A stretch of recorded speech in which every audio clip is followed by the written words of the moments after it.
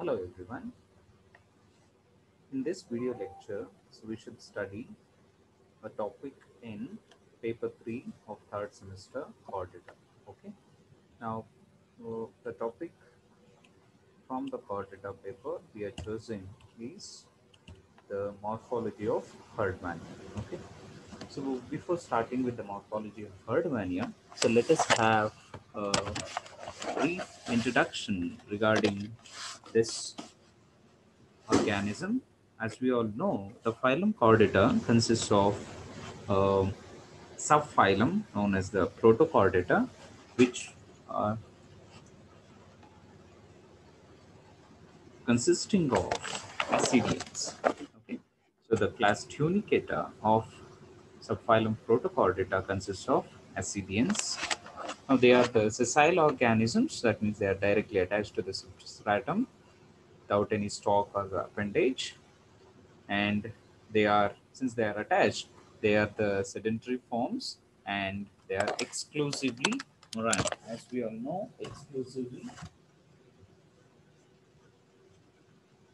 marine forms means they are present in the ocean. There are no freshwater forms. Now, these organisms are hermaphrodites. What do you mean by that? Hermaphrodites mean both the male and female sex organs are present in the same organism. Fine. Now, what about their um, fertilization? The sperm and the ovum meets in the water medium, so that is why it is the external fertilization. And when it comes to the development, um, it is indirect, including the tadpole larva. One interesting phenomenon that we see in case of ascidians is the retrogressive metamorphosis. What do you mean by that? There is the development during the larval development into adult. The larva has complex structures which are going to disappear and form a simple sedentary adult. Okay, a motile larva degenerates many structures present in it to form a simple adult. So let us move on. So this is a topic. So in order to understand the morphology of Herdmania, so we are going to we are going to start with the shape of the organism. Herdmania has a body which is laterally compressed with attached end. That means the foot part of the Herdmania, which is attached to the substratum, it is slightly compressed compared to the free end. So in order to understand this point, see if you look at this is the foot portion of Herdmania and this is the free end. You can see here the foot portion is slightly compressed. Then let us move on to the next point that is the size of the organism. An average adult, if you consider, it measures about 9.5 centimeters long, 7 centimeter broad, and 4 centimeter is the dimension. Now, what about the color? The fresh specimens are pinkish in color, and because we see them usually in the laboratory, the laboratory specimens look yellowish brown in color. Let's move on. So look at the organism before starting with the morphological aspects. So we have seen the shape, size, and color. So two important portions you can visualize here. This is a foot portion and this is the free end body proper. Okay. So, and there are two siphons you can see here. And there are two openings that are present. We call them as branchial aperture and atrial aperture. Through these apertures uh, proceed what are known as the branchial siphon and the atrial siphon. Okay, so this brief structures we shall move on to learn regarding the external structure of the Herdmania. Okay, so first how they have uh, divided the so in order to study the morphology of Herdmania, we divide the body into two important parts. Number one, body proper, and number two, foot. So let us come to the body proper. So body proper which is the upper part of the body, that is the free end of the body, longer and broader than the foot. So we have seen in the previous slide, the free end is longer and broader than the foot. Now, the free end of the body proper forms two cylindrical projections named as branchial and atrial siphons. As I have shown you before, starting from this branchial aperture, there are two siphons moving down like this. These two siphons are respectively named as the branchial and atrial siphons. Fine. Now let us move on to the next point. The siphons, they consist of openings. They are known as the apertures. One is a branchial aperture, another one is a atrial aperture.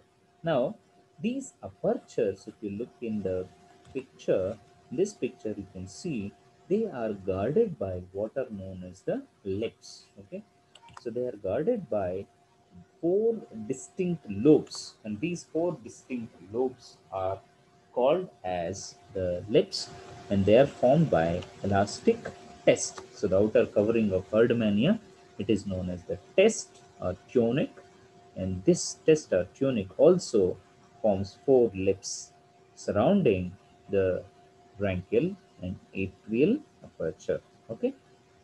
Now, so if you see regarding the branchial siphon, the branchial siphon, the uh, left one, you can see here regarding this we are talking. The branchial siphon is smaller compared to the atrial siphon and it is directed outwards. Okay.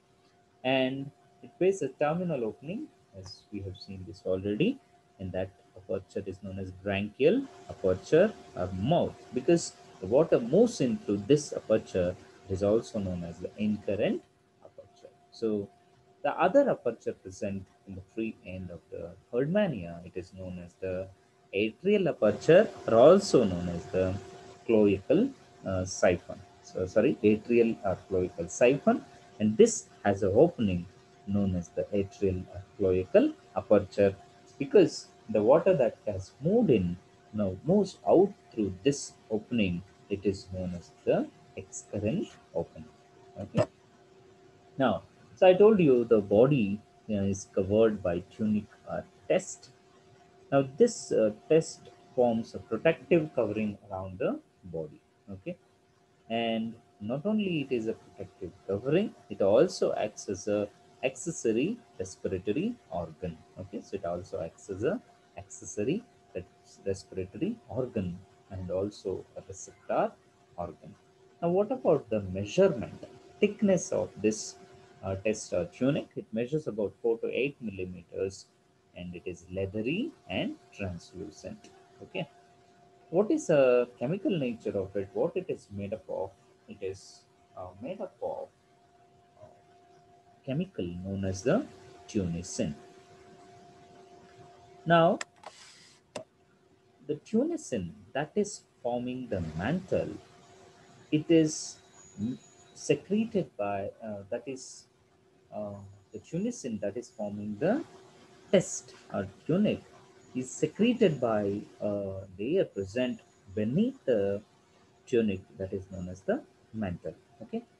And this uh, tunic wears off continuously from the outer surface. There is shedding of the tunic and also continuously it gets secreted by the mantle present beneath the tunic. Now apart from that the test of the tunic it also accommodates organisms like algae hydroids anemones and mollusks. So that give them the characteristic color. Then so if you consider the uh, so we have seen the chemical aspect of it the structure secreting the mantle so if you take a section of the mantle and see how it looks like it looks like having the gelatinous matrix and various corpuscles are present in it interlacing fibers are present branching blood vessels are present and calcareous spicules. If you look at this picture, you will understand better. So here, see, in this picture, you can see there is a VS, a vertical section of the tunic they have taken. There is clear visibility of the microscleres, megascleres, and test vessels vessels are present, spicules are present, and so here is the magnified image, the terminal norms, test forming interlacing, and here, here you can also see the presence of different types of spicules that are forming the test or the tunic.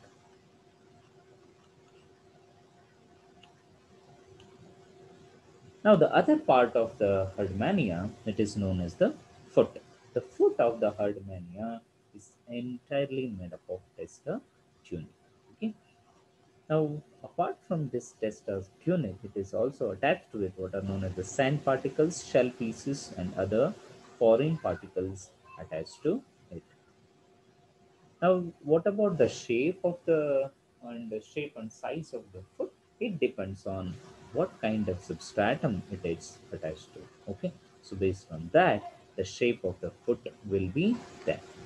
Now, apart from helping in attachment, the um, foot also helps in balancing the organism. Whenever there is some water current at all, organism body is balanced by the foot. Okay, so overall, so we have seen the morphology of Herdmania. So a brief revision regarding that is it is a sedentary form. So the colors, if you see, the pinkish or yellowish brown in color. So based on whether it is the natural one or the stored one, the body is divided into body proper and foot. And the body proper mainly has two siphons, branchial siphon and atrial siphon. And they have openings known as the apertures, branchial aperture and the atrial aperture, guarded by four lips okay. And the body is covered by a translucent uh, tunic or test uh, formed by the tunicin okay. So it is also acts as accessory respiratory organs that we have seen. And a foot acts as an organ of anchorage and it also helps in balancing. Okay. So this is the morphology. So let us have a brief test of our knowledge in this brief class after watching this video can you answer this question? The branchial and atrial apertures in Herdmania are guarded by how many lips? Yes. Yes, if you give the right is the right answer, check whether you have understood it. Let's move on. The second question. Read carefully. Consider the following with respect to test or tunic in Herdmania. Okay, so uh, we have studied regarding the section of Herdmania. So let us recollect it. It is hard translucent layer covering the foot entirely. First point. Second point regarding the tunic is it is a soft leathery translucent layer covering the entire body, entire body and also acts as a balancing organ.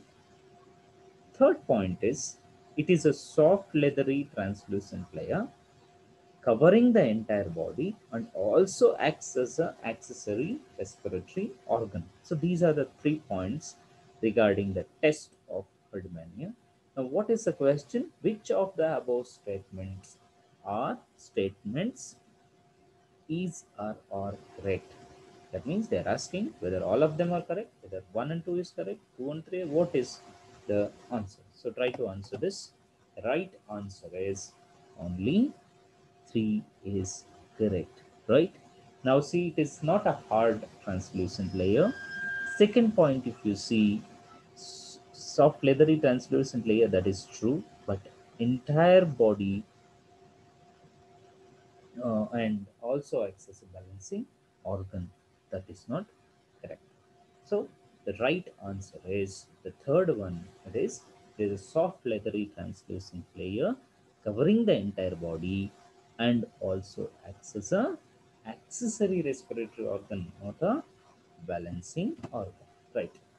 Let us see the next question. So the match the following, this one, try to answer this. Right. So test or tunic, it is the accessory respiratory organ. Foot is a balancing organ. Atrial siphon is the excurrent aperture and the balancing uh, branchial siphon is the incurrent aperture. Okay, so this is the reference. Thank you all for listening to this